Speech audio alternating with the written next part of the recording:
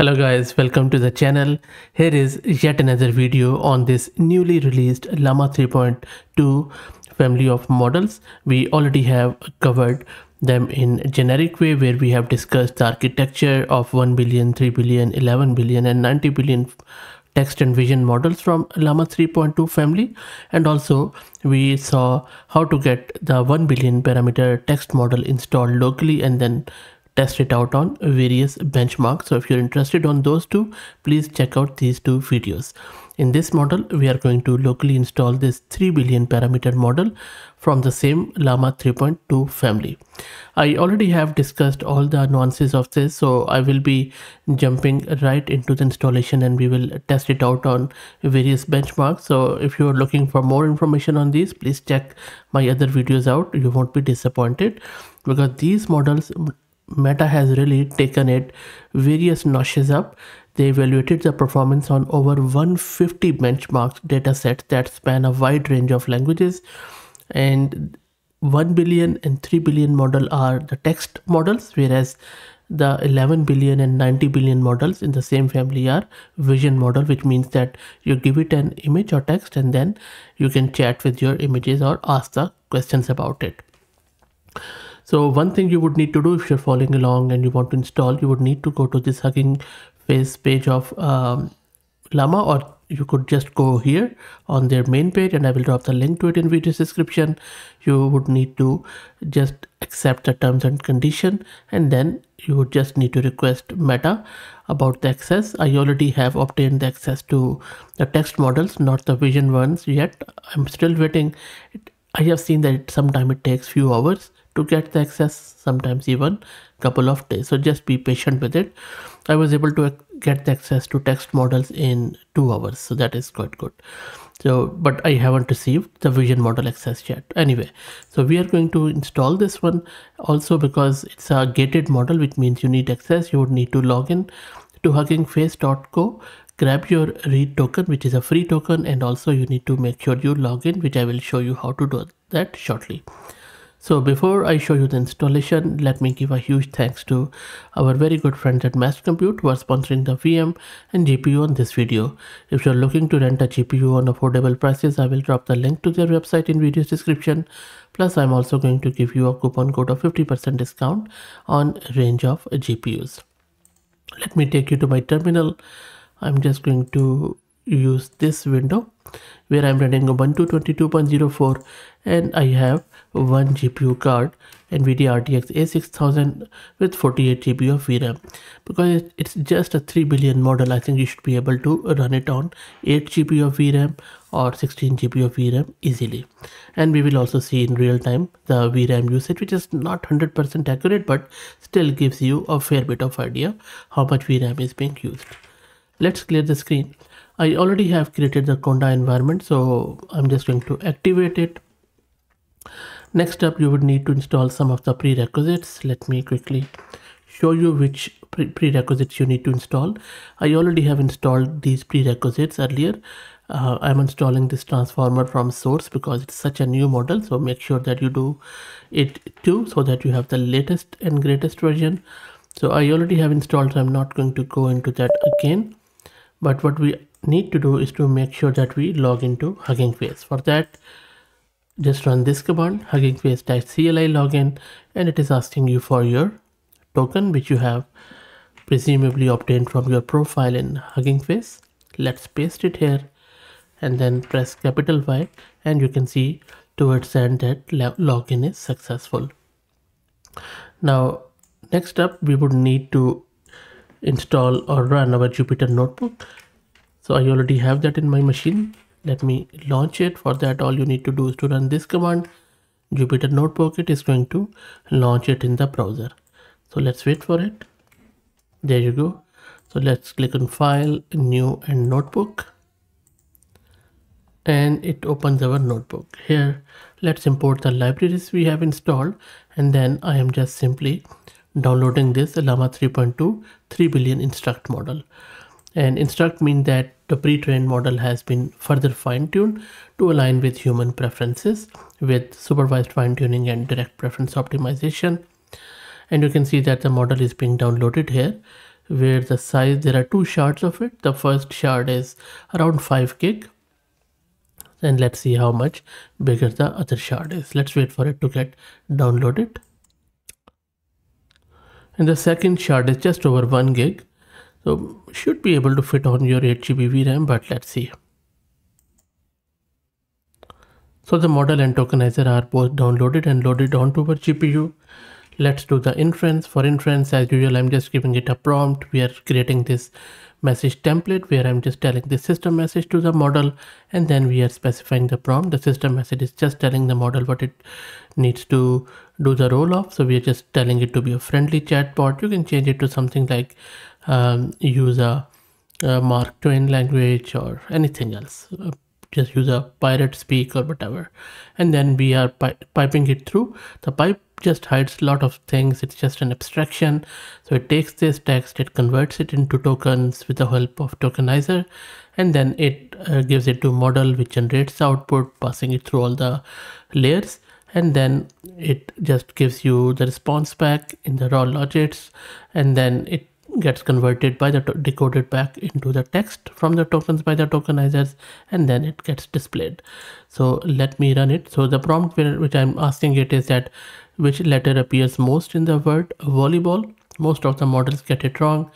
Let's see what it does. So you see it has done the breakdown here and it says the letter L appears twice in the word. And the interesting bit is that the 1 billion parameter model at least got it slightly closer to the correct value it said thrice so um, three values. Anyway let's try to do some serious uh, inference here. Okay so let's check it out. And also just to give you a bit more context around this question these models especially the text models they are quite good when it comes to text generation summarization and they are quite gated. Also, you might be thinking that what is the difference between 1 billion and 3 billion parameter model?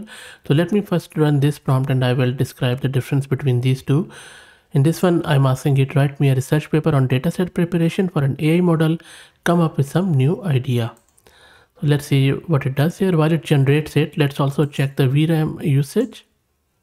So I'm just going to run this. So there you go. It is just using 6.5 something like that GB of VRAM. So make sure that at least you have 8 GB of VRAM in order to run this model. Okay. So it is still generating it. So while it generates, let me try to explain what exactly is the difference between 1 billion and 3 billion model in this same new family. First and foremost, the main difference is of course their size and that affects a lot of things. First, performance. Llama 3.2 3 billion perform better on most benchmarks, especially in tasks requiring more context or complexity. Also, Llama 3.2 1 billion has 1 billion parameter, whereas other one has 3 billion parameter, 3.21 I guess. Um, Llama 3 to 3.2 3 billion required more training time, so 460 1000 GPU hours and it consumed 133 tons CO2 uh, location based emissions whereas the 1 billion only consumed 370k GPU and of course its carbon emissions were way less. 1 billion is more suitable for constrained environments like mobile devices whereas 3 billion requires more computational uh, requirements so won't might not be suitable for mobile devices 1 billion may require more careful tuning for safety uh, due to its smaller size, whereas 3 billion is a bit more, uh, I would say, aligned to human preferences. So all in all, the 3 billion offers better performance but requires more resources as you already saw in if you compare both of my videos. You, 1 billion you can even run on a good CPU but this definitely requires GPU. So you can see that while we were talking it has come up with a response where it has given us this paper where look if you read through the abstract looks really good. Um, it says that quality and diversity of dataset plays a crucial role. And then it is proposing a new paradigm for dataset preparation. It is calling it data sphere. How good is that? And then it is giving us the introduction the existing dataset prep techniques limitation mere paradigm data synthesis future work references very nice very very good of course you can't just send it to any uh, university to get a phd but still good enough Okay, let's try out another one. I'm asking it, how can I look busy and do nothing in my office? These llama models are quite censored. So let's see what it does here. Does it provide an answer to the negative or toxic question or not? Let's wait for it to come back.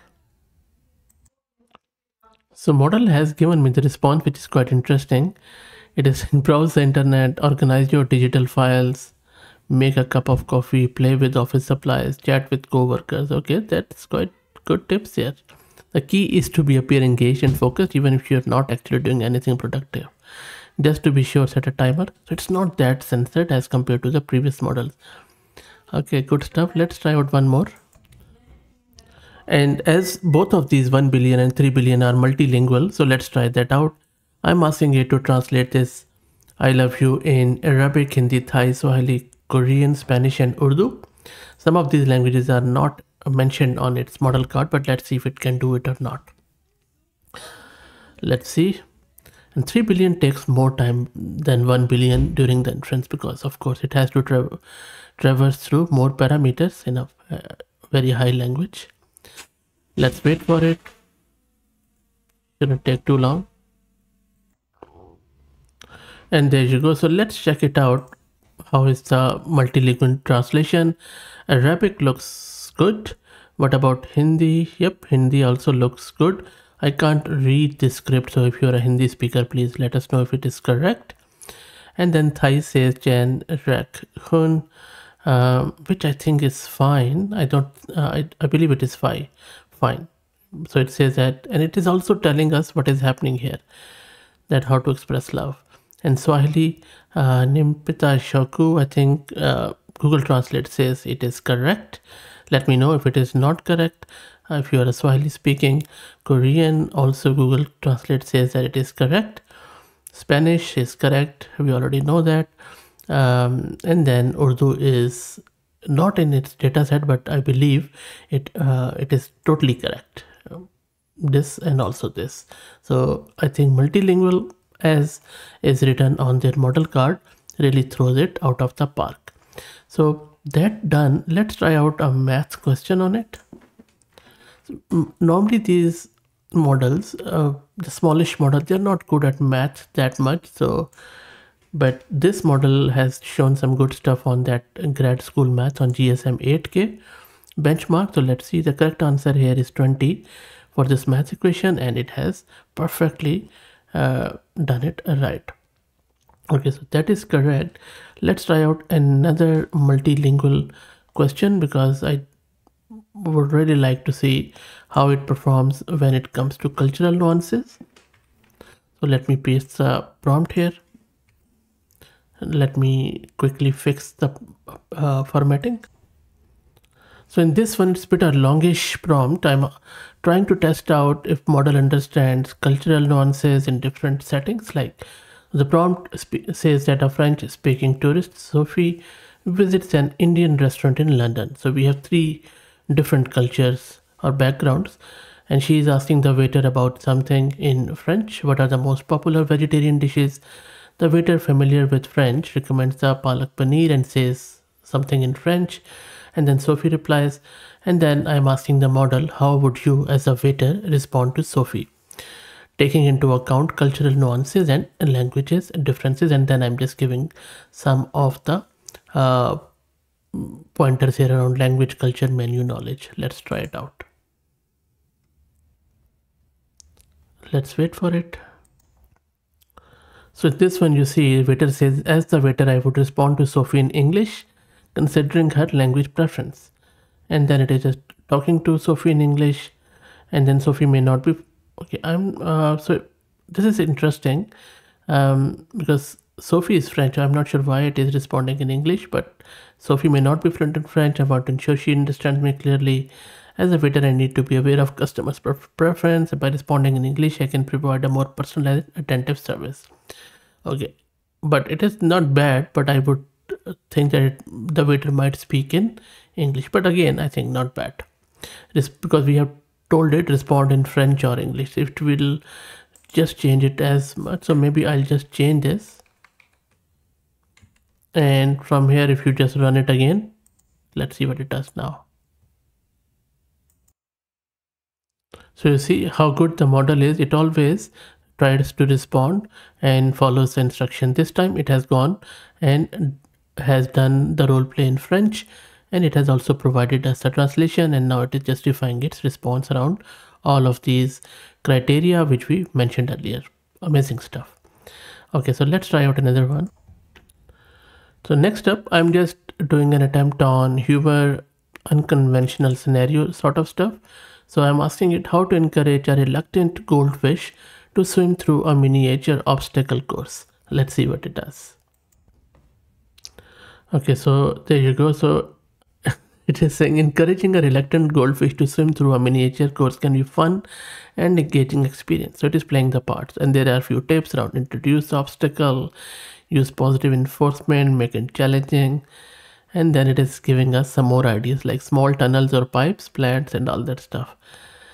Remember to always prioritize your goldfish safety and well-being. Never force them to participate in an obstacle course. Very nice okay this is actually quite interesting.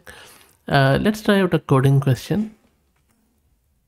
Okay so i'm asking it to identify and repair the bug in this ruby method. Let's see what it does.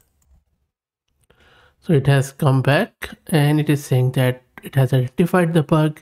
Very nice. So you know it has just divided it into paragraphs and then it is repairing it it has given us the solution and even the alternate solution and then a short concise synopsis of the code amazing stuff let's ask it a final question bit of a toxic one so i'm asking it as a bride how can i make a bad first impression on first wedding night let's see these models are quite sensitive Normally they really don't answer these sort of questions. 1 billion one didn't answer me. So let's see what 3 billion does here. Okay, wow, lo and behold, the 3 billion didn't refuse. It is it has given me the answer, though with a warning that I must preface that making a bad first impression on your first wedding night is not ideal. It's a special and intimate moment. So it is saying that arrive late, wear a funny, bring a surprise guest, have a pre-wedding night ritual gone wrong, and then be a bit too enthusiastic. And okay, that is, and then it is saying that in all seriousness, the first wedding night is a special moment to connect with your partner, relax, and enjoy each other's company. Okay, so that is actually quite good. So you see, model is quite uh, I mean, I would not say sentinel, but a sentient, but I think it is quite, uh, so it has sort of played around humorously, very in a very light way instead of just doing anything silly. But uh, at at the start and towards end, it has uh, really warned us against it. So anyway, I think really good quality model, uh, better than one billion, I would say for sure, and better than most of seven billion models I have seen for so far. And if I must say, I think better than Mistral's uh, even large 22 billion model um, yeah maybe a tall claim but still i believe that it is in terms of quality it is better than mistral's recent large model. Anyway so i hope that you enjoyed it. I will drop the link to this model card in video's description. Let me know.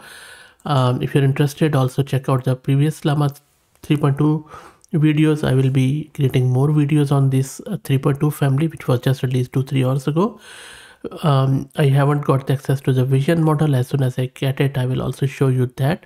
And we will also be covering it with different angles. So stay tuned subscribe to the channel. If you like the content do me a personal favor and share it among your network as it helps a lot. Thank you for watching